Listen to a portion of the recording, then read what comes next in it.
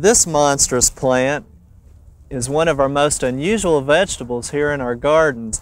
This is a Jerusalem artichoke and it was planted about three years ago next to our compost pile, which was our first mistake. The Jerusalem artichoke is kin to the sunflower and grown pretty much like a potato, but its biggest uh, disappointment is that it is so evasive that it actually will take over.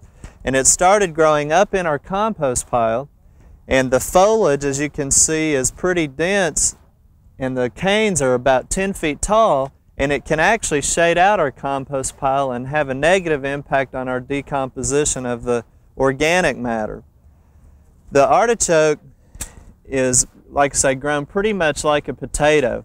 We planted some tubers with two or three eyes on them back in March, late March, after the chance of freeze is over. And then we planted them about four to six inches. And again, they've grown very aggressively all summer long, about 10 feet tall, but they do have some real attractive, showy yellow flowers that are very similar to sunflowers. Now we've had about two or three frost on the artichoke, and that's the time that we need to start harvesting them. Now, we wanted to show you too how evasive it is as you can see, there's some smaller ones that are growing out quite a ways. And a good thing to keep in mind is that some people will actually grow them in an area surrounded by their lawn, such as fescue or Bermuda grass, to keep it contained where it doesn't spread too much. But now that our canes are killed back, let's go in and harvest those. And the first thing that we do is just go in and cut the canes about four to six inches so we can use those to help pull up the tubers.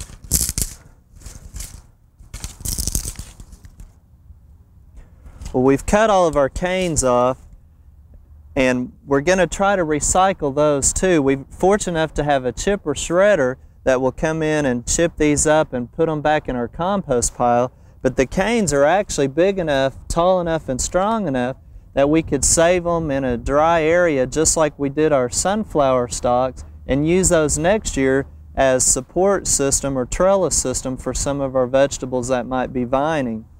Well, we've dug up a few and we've got some pretty good sized tubers here. And they're actually pretty easy to dig up if you've got a loose soil like this. And the hardest part though is going to be cleaning those up. But what you want to do is just take a, a pitchfork and just loosen those up. And again, remember we left the stalks on here to try to make it easier to pull them up. And as you can see how the tubers in are growing underneath the root system there and you just break those off and harvest those like that. And then next year, um, if you want to try your hand at planting some of those, again, you need two to three different eyes on the tuber. And sometimes these seed stock are a little bit hard to get your hand on.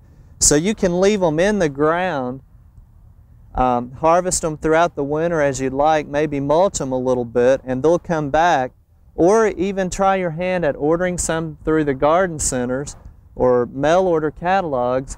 And then, uh, if you have no luck at finding them, then just go into the grocery store, buy a few. But keep in mind that they're usually treated with a sprout retardant, and you may not have a good success in getting them to germinate for you. But some people have been known to get some starts just like that.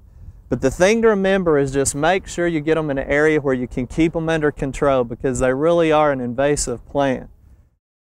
We hope you enjoyed this video. It's part of our OK Gardening Classics YouTube channel. You can also find more recent videos on our Oklahoma Gardening YouTube channel. And join us on social media for great gardening tips, photos, and discussion.